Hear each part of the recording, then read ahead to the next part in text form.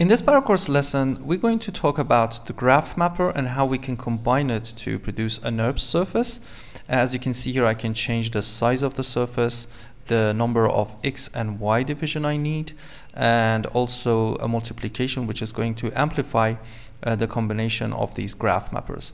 Uh, we can simply change the graph mapper uh, to a new uh, function, as you can see here, and produce different results. So this lesson is going to help you to understand how the graph mapper can be used if we want to deform and uh, make a NURBS surface with graph mapper.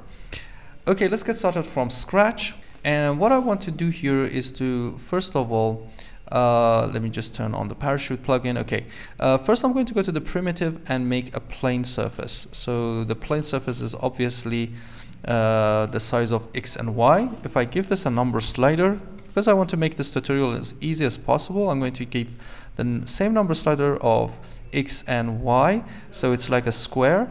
And when I make the square uh, as you can see here when I increase the number uh, here it's going to be from the 0 to that number. So uh, if I zoom in you can see that's like 0 to 32 and uh, it's not going to be a domain. Uh, now that I have this uh, what I want to do is to